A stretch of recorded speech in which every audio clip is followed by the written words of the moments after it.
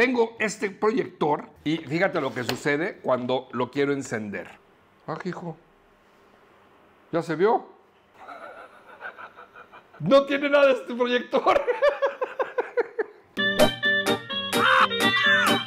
Vecinos, bienvenidos a una reparación más con Lopito Repara. En esta ocasión vamos a hacer una reparación muy, pero muy, pero muy sencilla. Me trajeron este proyector que cuando lo enciendes, fíjate lo que sucede. Lo conecto, prende la luz de que ya está energizado, lo enciendo y mira lo que pasa. Aquí tengo la ventanita abierta, inicia y no prende, no hay imagen, no hay nada. Ahorita que hice pruebas, este foquito de lamp empezó a encender.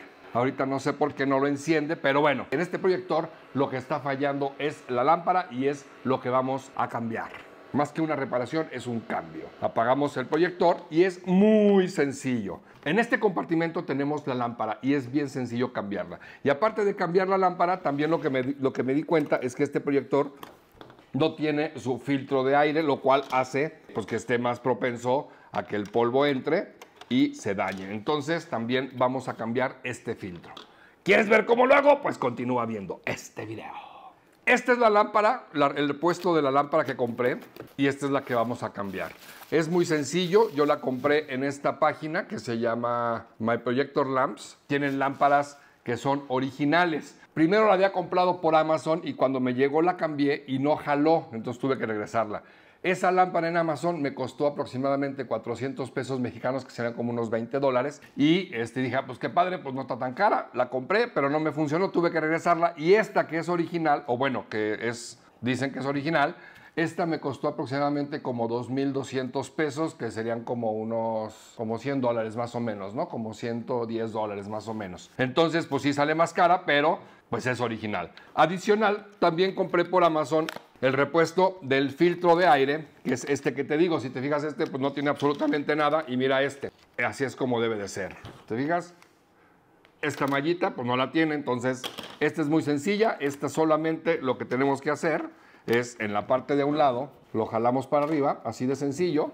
Sacamos el anterior y ponemos el nuevo, y este nada más se inserta de esta manera. Y con eso ya le cambiamos el filtro. Ahora, lo que vamos a hacer ahora es cambiar la lámpara. Para cambiar la lámpara vamos a necesitar quitar esta tapita y es bien sencillo. Esta tapita tiene solamente un tornillo que quitamos. El tornillo no sale, entonces para que no lo quiera sacar, este tiene un tope, entonces lo que sale es la tapita completa.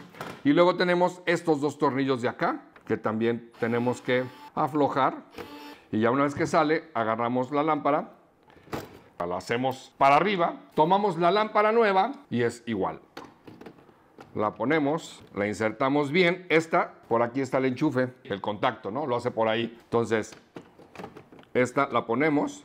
Ah, algo bien chistoso que me pasó. Cuando vi esta lámpara, si te fijas ahí se ve como una rayita en medio pensé que se había roto, que de ahí era que estaba estrellado. Se ven como dos rayitas, no sé si alcanza a ver la cámara, pero tiene como dos rayitas que parece como que son las que están dañadas. Cuando me llegó la lámpara de Amazon, dije, ay, esta también viene dañada porque también venía igual. Y dije, chihuahuas, también viene rota. Bueno, la puse y no jaló y dije, pues sí, venía quebrada. Y la regresé. Y cuando me llegó esta, esta está igual. Esta también tiene dos rayitas. Dije, no manches, qué suerte tengo. Pero no, son las colecciones que vienen internas en la lámpara. Entonces, no te dejes llevar y pienses como yo que está dañada la lámpara porque no es así. Entonces aquí solamente ponemos los tornillos, los apretamos, ponemos nuevamente la tapita, cerramos y lo único que nos hace falta es checar que prenda y que no haga ningún problema. Conectamos a la corriente, aquí está el testigo de que está energizado, lo prendemos, inicia, no se ve porque hay mucha luz, pero ya prendió la lámpara por aquí y nada más esperamos a que salga la imagen. Ya está, vecinos. Así de simple y así de sencillo es hacerle el cambio de la lámpara a un proyector. Este proyector es un Epson modelo X24 Plus o X24 más. Y si te fijas, se ve bien bonito porque como la lámpara es nueva, pues se ve como si el proyector fuera nuevo. Pues en todos los proyectores debe ser algo muy similar. Mira, yo buscando el, modelo y aquí lo tiene aquí enfrente de mis narizotas.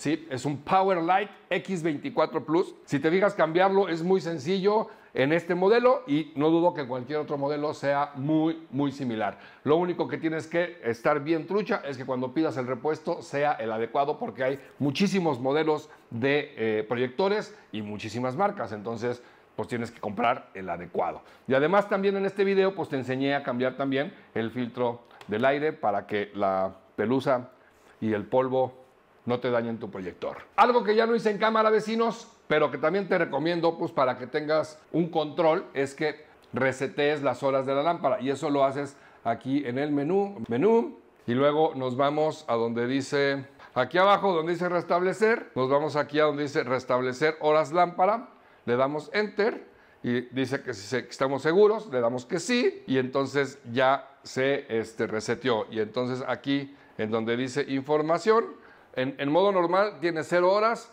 y en económico tiene cero horas. Entonces con eso pues ya podemos darle un seguimiento de cuántas horas nos dura esta lámpara. La verdad es que ahorita no recuerdo cuántas horas debe durar una lámpara, pero este proyector tiene aproximadamente 10 años de uso ya es un proyector viejito. No se usaba muy constantemente, pero este, últimamente se usaba para un cine en casa. Entonces, pues así es como se resetea. Esto es todo por el video de esta ocasión, vecinos. Espero que te haya gustado y sobre todo que te sea de utilidad. Si así fue, regálame un like, suscríbete si aún no lo has hecho y activa la campanita para que te notifique cada vez que yo suba un video. ¿Y qué crees? Nos vemos en el próximo.